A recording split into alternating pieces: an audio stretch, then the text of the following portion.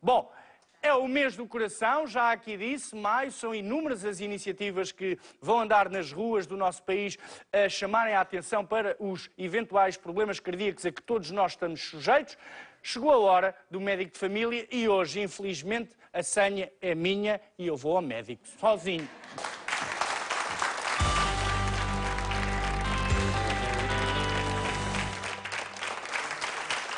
E connosco, para além do Dr. João Ramos, temos a médica cardiologista Dulce Brito, do Hospital Santa Maria, e ainda José que foi, a quem foi diagnosticado uma insuficiência cardíaca há cerca de dois anos.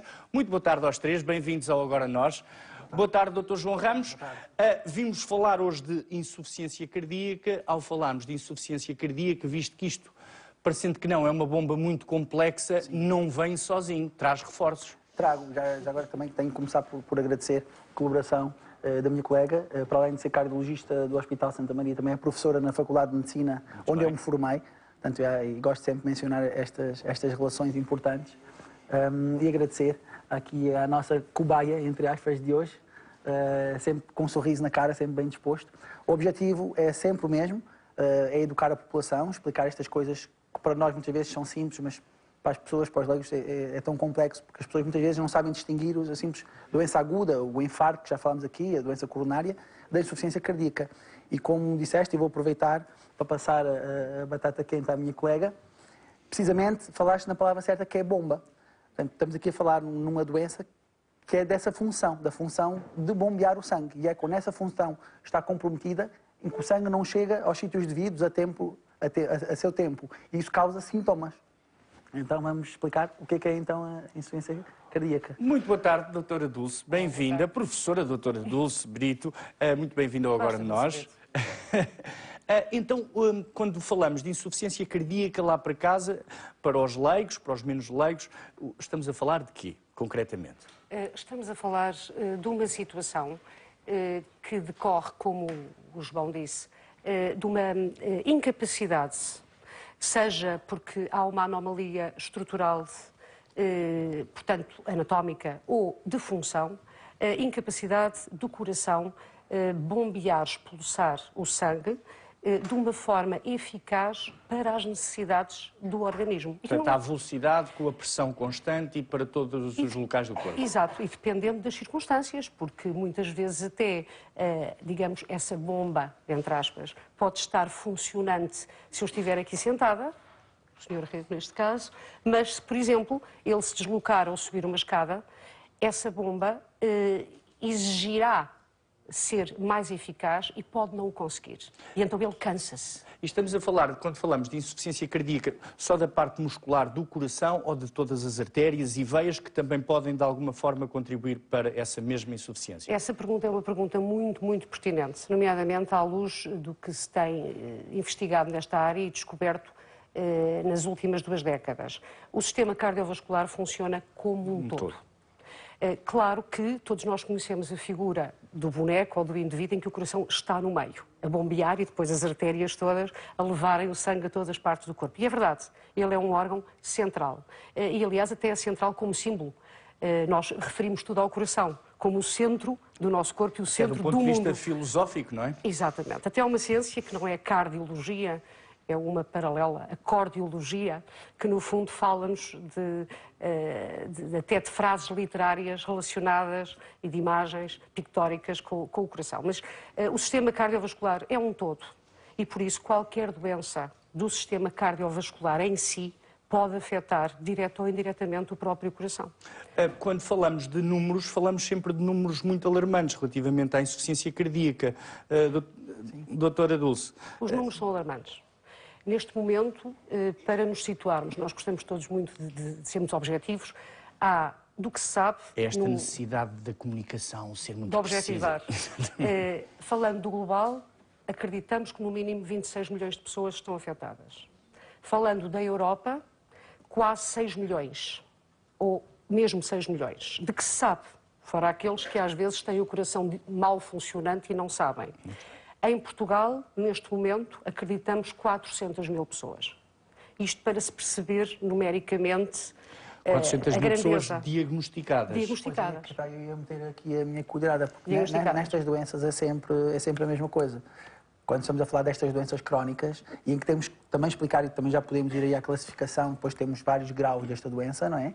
Há pessoas que poderão passear uma insuficiência cardíaca de grau 1, de estadio 1, ou com muito poucos sintomas, eh, em que vão andar assim anos, ou seja, bastantes pessoas eh, andarão neste momento com uma insuficiência cardíaca subdiagnosticada, como outras tantas doenças crónicas. Com- que é o caso do, do nosso convidado, do nosso terceiro convidado, José Rego. Muito boa tarde também, muito bem-vindo ao Agora Nós.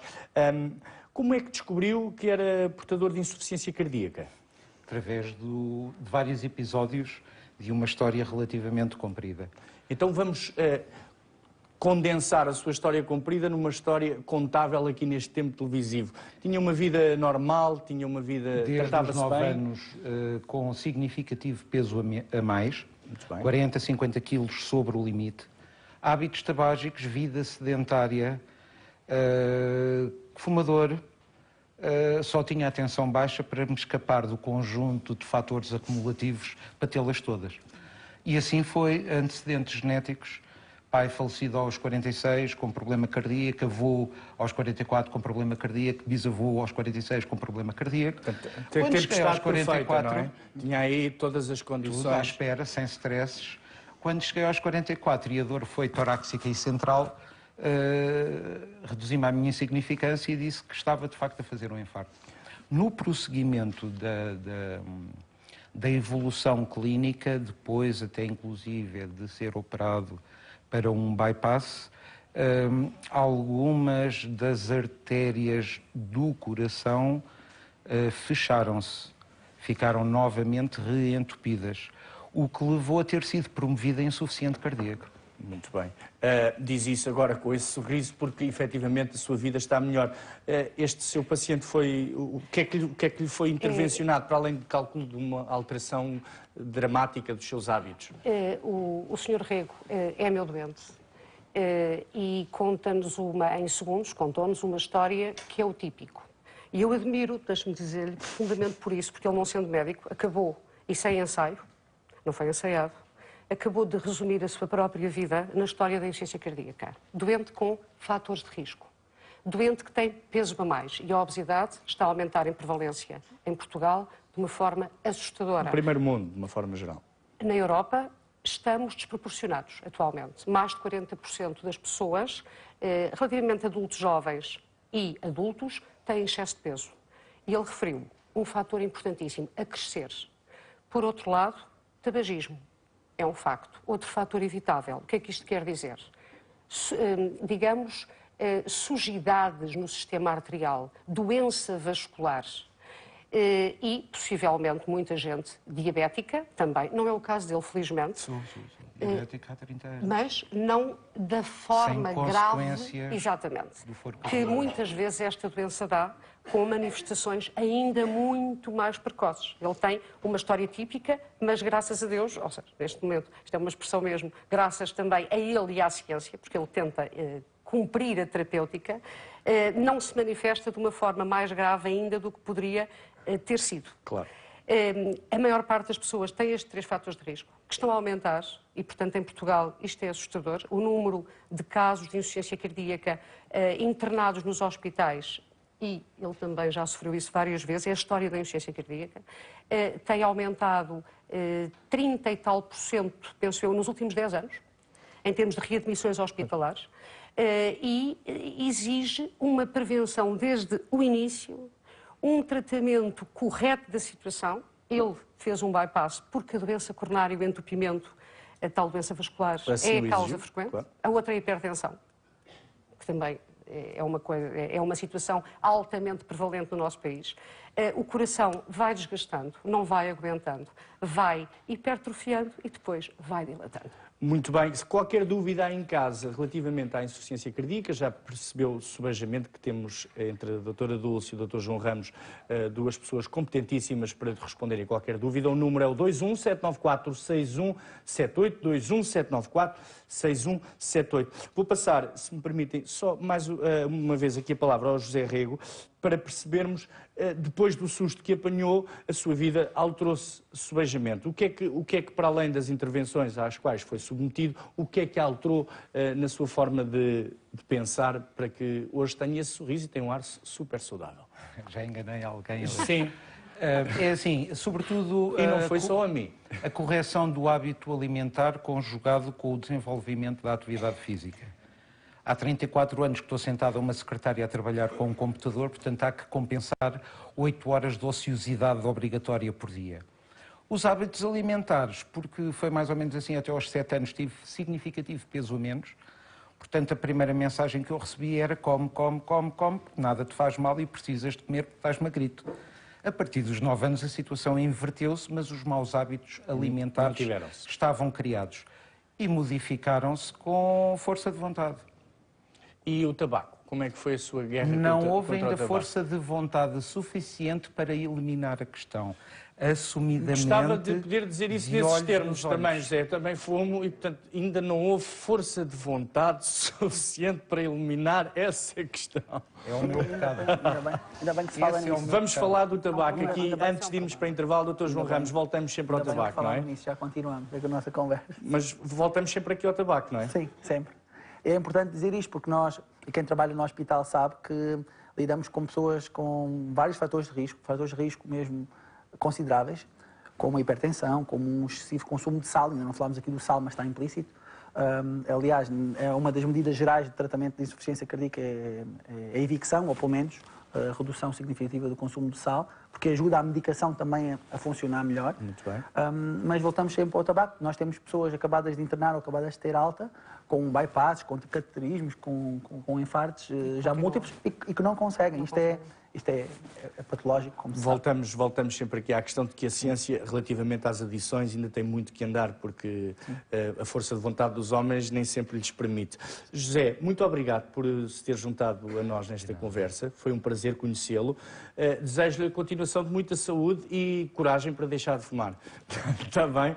Com certeza, Bom, obrigado. Agradecido. Obrigado nós. Idem, idem, aspas, aspas. Idem, idem, aspas, aspas. Bom, as nossas linhas vão manter-se abertas para a nossa consulta com a doutora Dulce e com o doutor João Ramos, 21794-6178. Eh, uma salva de palmas para o José Rego, as suas melhoras. Vamos agora promover o passatempo, vamos para um intervalo de seguida e voltamos à nossa conversa.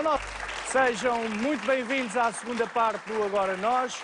Hoje uh, aqui a solo, porque a nossa Tânia está com uma conjuntivite, amanhã já voltará, as suas melhoras. Aliás, uh, estamos com, na presença de dois médicos, o Dr. João Ramos, uh, clínico geral, e a doutora Dulce Brito, médica cardiologista do Hospital Santa Maria. Não foi a cardiologista que diagnosticou à Tânia a conjuntivite, mas foi a sua primeira apanhei, consulta. Apanhei logo ali na, foi, não ali foi? quase na garagem. Já agora vamos, vamos pedir à Tânia para ela não se esquecer de pôr as gotas como deve ser. Gotas Está como deve ser como e a deve pomadinha à noite. Ela já está a ver-nos. Está ela- de ela- certeza ela já está em casa. no sofá.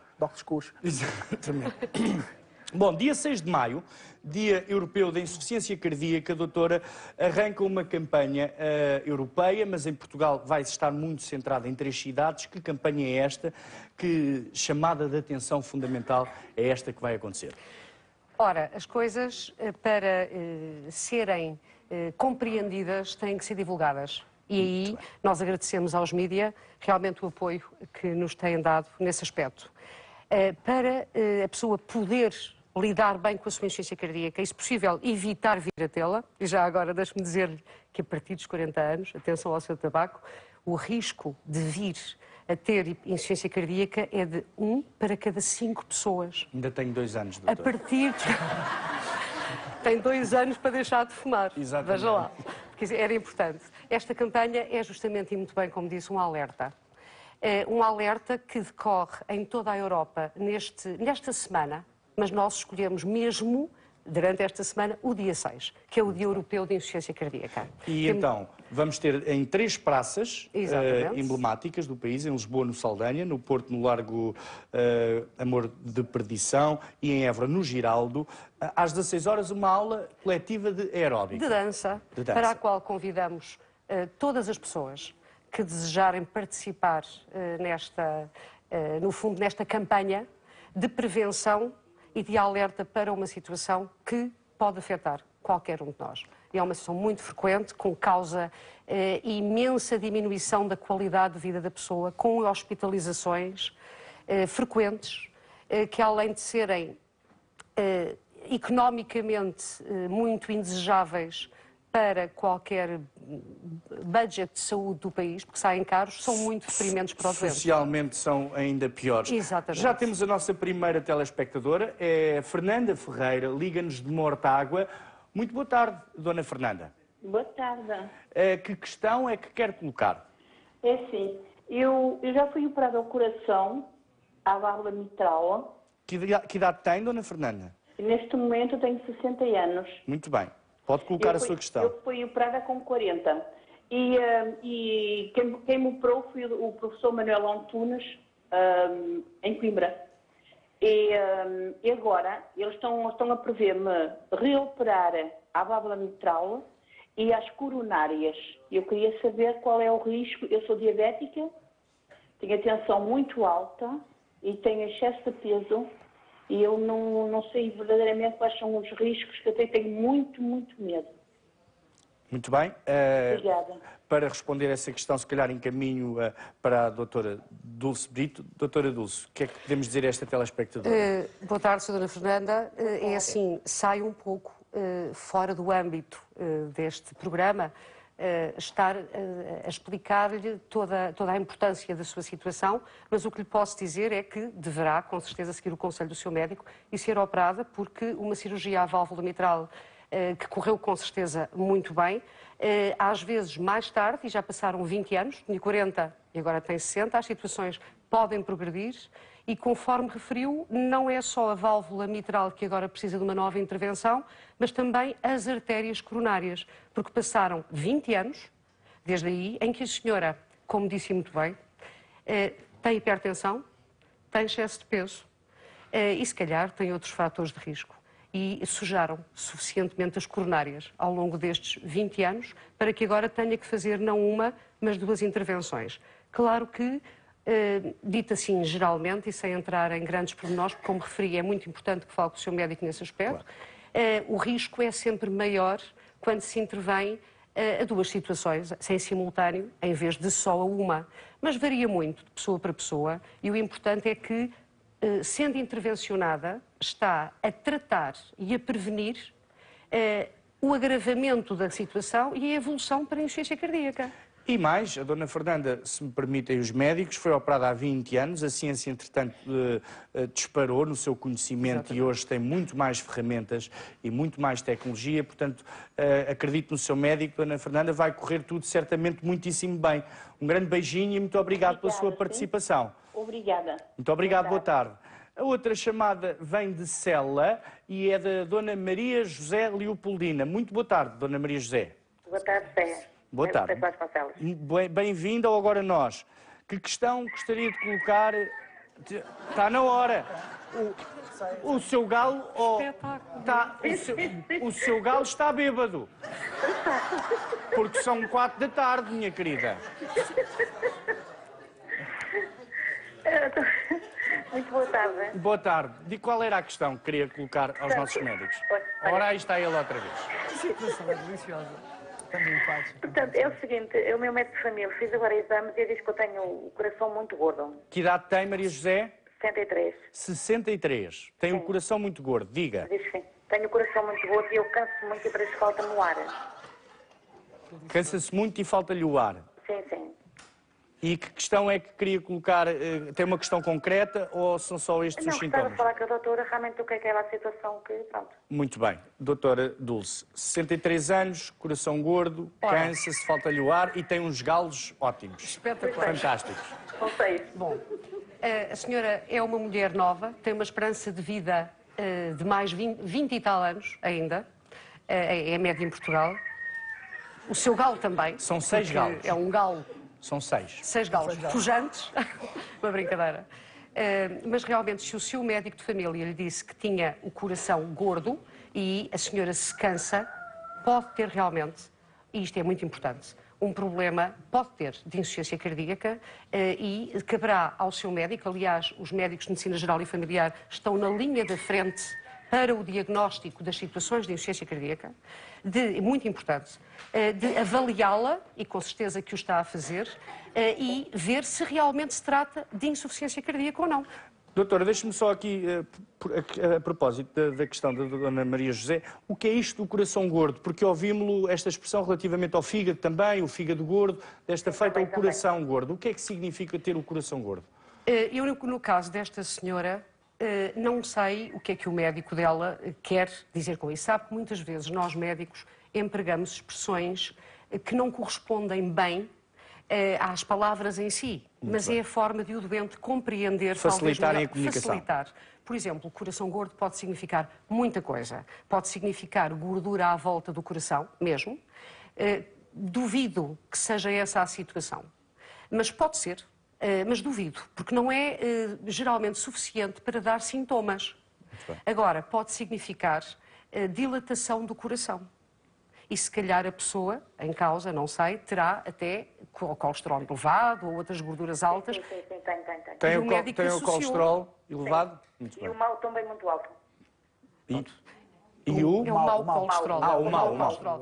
Aí está. E o médico da senhora inteligentemente associou um fator de risco importantíssimo para doença, doença coronária, portanto, doença das artérias, eh, do sistema cardiovascular, ao cansaço dela. E se calhar tem dilatação do coração. E, portanto, explicou-lhe que seria a gordura a causa de tudo isto e do cansaço dela. É uma possibilidade. Mas chamou a atenção para que o diagnóstico de insuficiência cardíaca a ser feito como eh, muitas vezes é, e, e, tem que ser mesmo, pelo médico de família, quando ele suspeita, é extremamente importante, porque num diagnóstico precoce desta situação, que depois se reflete quando manifesta por falência do, da bomba, claro. em cansaço, em falta de ar, inchaço das pernas eh, e outras manifestações, esse diagnóstico é crucial.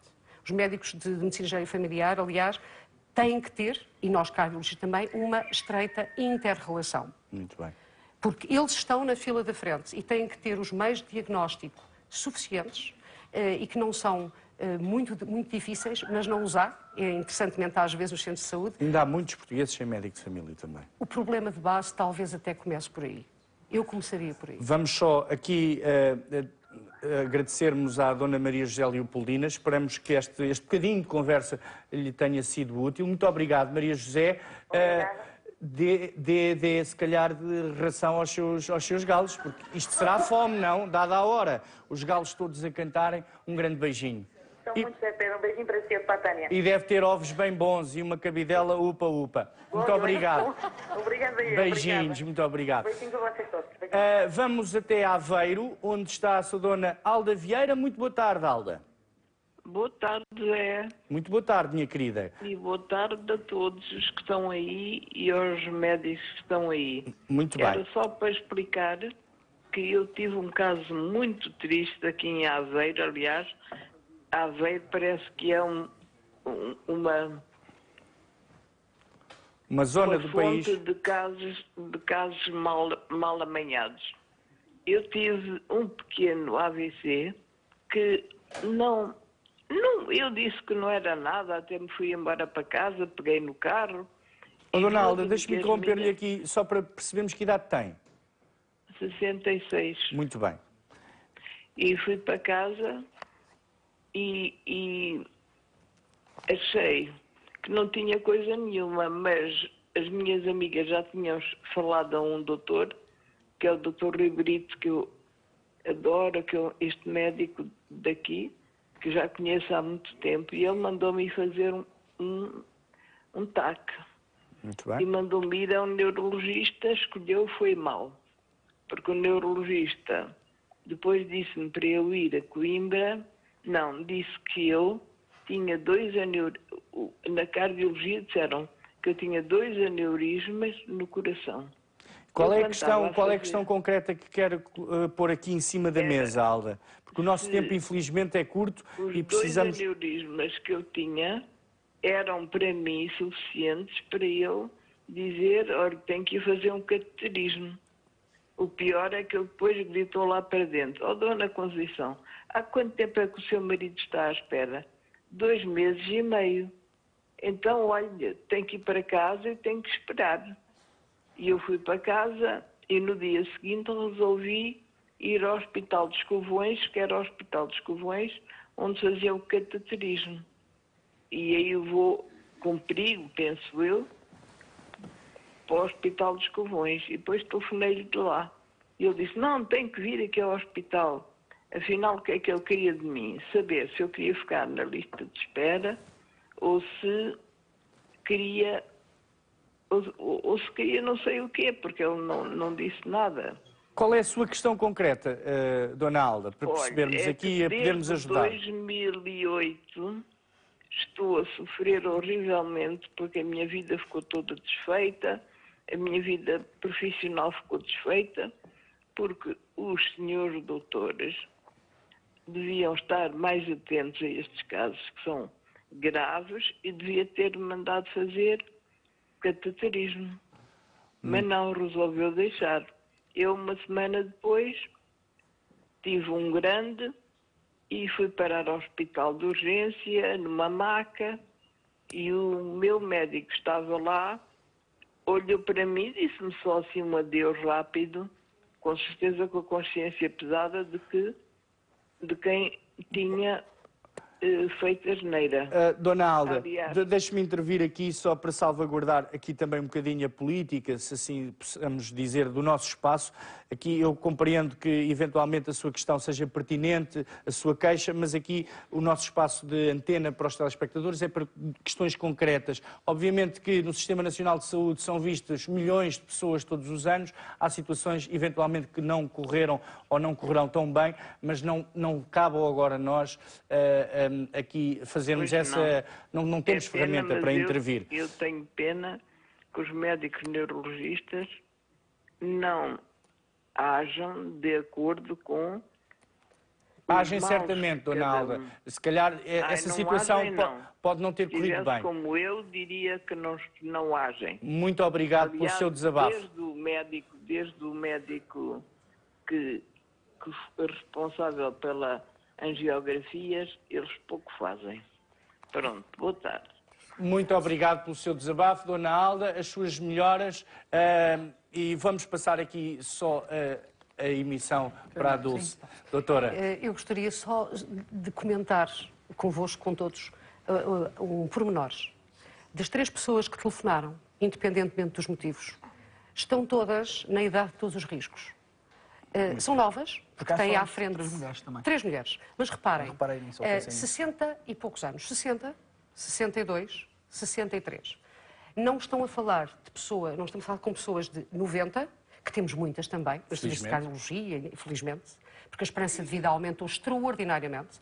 Qualquer destas pessoas tem, eh, em média, e, e- e do ponto de vista do espectável, mais 20 e muitos anos de vida. E, no entanto, todas têm problemas de saúde cardiovascular importante.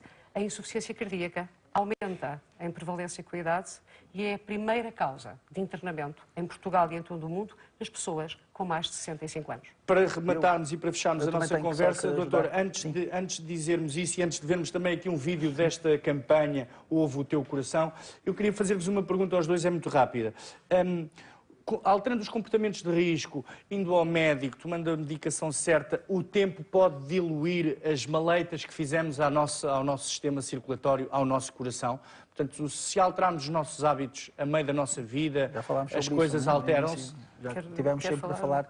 A conversa vai sempre ter aí, começamos, se nós começarmos pelo princípio que é... É porque para dar aqui uma esperança, não é? medicação, que Falamos de Claro, coisas sim. muito más, mas se alterarmos eh, fisicamente. Em todas as doenças crónicas nós conseguimos e, e esse é o objetivo fundamental. Antes de começarmos a falar de medicação de topo e de medicação muito seletiva, que há e cada vez é melhor, com cada vez menos efeitos secundários, hum, nós começamos sempre por aí. Uh, as medidas gerais na insuficiência cardíaca são parecidas às medidas gerais na hipertensão ou no diabetes. E já falámos. Controle dos fatores de risco, controle da hipertensão, evicção do sal, não abusar aqui no caso da insuficiência cardíaca, não abusar de anti-inflamatórios não esteroides que as pessoas muitas vezes se automedicam e que também é um fator de risco para agravamento da insuficiência cardíaca. Portanto, são todas estas medidas gerais que são transversais, neste caso, à maior parte das doenças cerebrovasculares ou cardiovasculares. E só também para responder à dona Alda, há aqui um discurso um pouco, um pouco confuso em relação a uma doença que pode ser e ter coisas em comuns, mas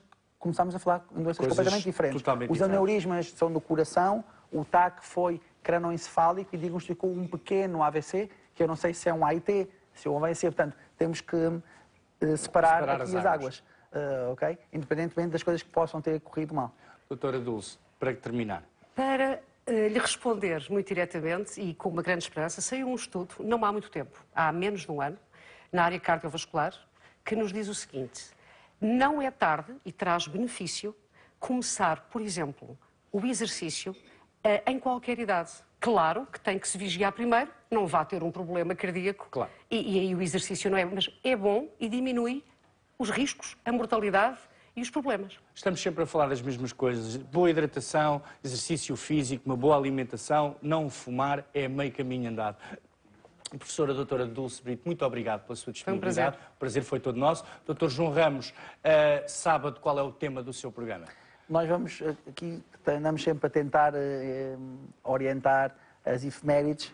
Ahm, neste caso, não há nenhuma efeméride para o programa do É Diga um Doutor. borda d'água medicinal, o doutor. Tentamos, tentamos porque aqui no intervalo falávamos na importância de, de utilizarmos os meios de comunicação social Exatamente. para, para, para publicitar estas causas. E já que temos uma efeméride, então, da nossa parte, não nos custa nada associarmos E vai puxarmos para trás tema? ou para a frente. Neste caso, no Diga Doutor, não estará associada a nenhuma efeméride. Vamos falar sobre perturbação de ansiedade, ou seja, no papel da psicoterapia, nas terapêuticas psicológicas, hum, nestas doenças tão prevalentes, perturbação de ansiedade, depressão e por aí fora, fobias, por exemplo, E que no depois Doutor. eh, podem despoltar em conjunto de Exatamente. problemas físicos Sim, sim. eh, mais graves. Muito No- obrigado, doutor. Mas também já agora falar na outra efeméride que vem aí, na, na prevenção do melanoma, do Dia Mundial na Luta e na prevenção do melanoma, que será no próximo Médico de Família. Pronto. Vem o verão, vem, o- está Vem aí o sol esperemos. e temos que voltar a proteger-nos. Muito obrigado, Dr. João Ramos. O, o pro- o programa Doutor, eh, Diga Doutor vai para o ar aos sábados ao meio-dia e 20. Não perca, tem sido um sucesso de audiências, também muito graças